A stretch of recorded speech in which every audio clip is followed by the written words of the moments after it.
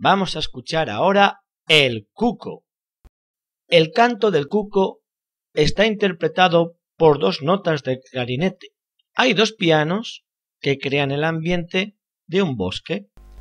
Te reto a que me digas cuántas veces suena el cuco en la audición.